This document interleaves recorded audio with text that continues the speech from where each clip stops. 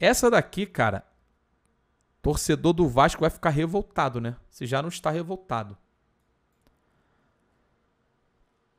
Andrei Andrei Santos pode ser emprestado ao Palmeiras e ficar no clube até ou agosto ou final do ano. É inacreditável. O Vasco vendeu ele por 12 milhões. É isso? Tá aqui 82 milhões de reais. Então acho que foram 12 milhões, alguma coisa do tipo, talvez um pouquinho mais do que isso, no início do ano. E ele não pôde jogar porque não conseguiu visto para jogar na Inglaterra. E aí ele será, ele tem que ser emprestado, porque ele, não, ele precisa jogar. E aí seria emprestado para o futebol brasileiro e para o Palmeiras. O torcedor do Vasco vai ficar louco com isso. Com toda a razão, porque a venda foi muito, muito mal feita do ponto de vista financeiro.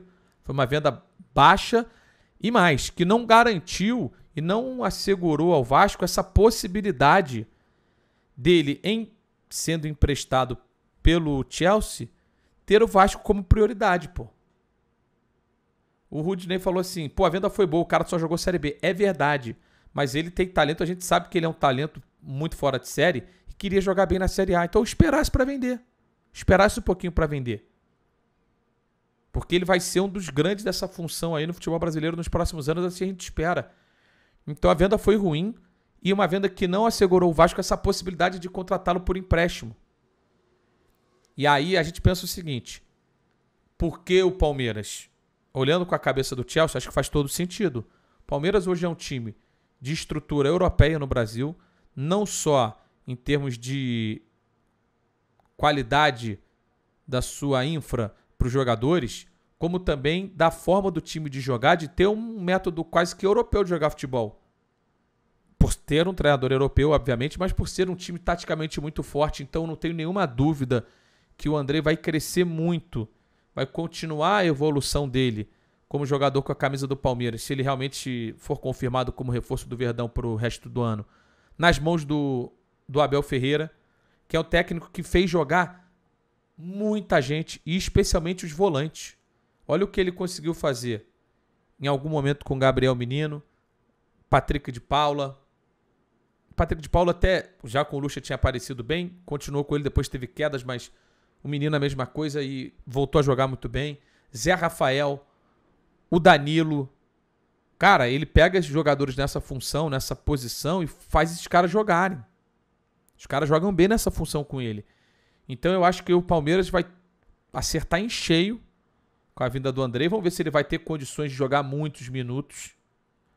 Mas o fato dele jogar Libertadores era fundamental também nessa negociação para o Chelsea, porque aí vai facilitar que ele consiga esse visto de trabalho para atuar na Premier League. Então, um reforço de ótimo nível, eu acho, para o Palmeiras. E que para o futebol brasileiro também.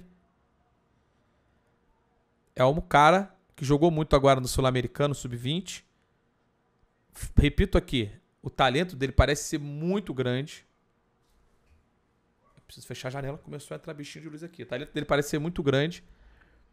Então, nesse primeiro momento, é possível que ele comece no banco no Palmeiras, mas se ele, se ele se desenvolver na medida que todos esperam, ele pode muito bem ocupar uma posição de, de titular no Palmeiras, jogar muito e já chegar, não para brigar por posição no Chelsea, porque lá a concorrência é muito mais alta, mas já chegar bem mais pronto, passando pelas mãos do Abel Ferreira.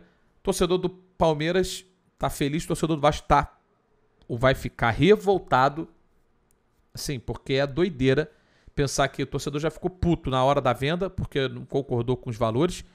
Em reais aqui o nosso palestra fala em torno de 82 milhões. Vamos ver se no GE tem em... se no GE tem euros, eu queria saber em euros ou libras aqui. É, é não tá falando, mas acho que, se, eu não estou enganado, foi em torno de 12, 13 milhões de libras, né? E aí o Vasco, Vascaíno já ficou puto porque a venda foi ruim. E agora ainda vai ter que vê-lo voltar pro futebol brasileiro para jogar num outro clube. O Pedrosa informando aí que ele deve chegar já no final de semana para assinar com o Palmeiras, então Grande contratação, acho um belo reforço para o futebol brasileiro. Acho que vai ser muito legal a gente ver esse garoto jogando uma Série A. Jogar a Série B não tem nível de comparação, é competitiva, mas em termos de qualidade não dá para comparar. Ele já se provou um moleque super promissor na Série B, agora no Sul-Americano, capitão do time, um dos principais jogadores, fazendo muitos gols, inclusive. E voltando ao futebol brasileiro, acho que ele tem tudo para jogar bem, para ser relevante, para se desenvolver, que é o mais importante, e chegar bem no Chelsea como um reforço com mais possibilidade de minutos do que ele teria mesmo se tivesse a licença para trabalhar na Inglaterra agora, né?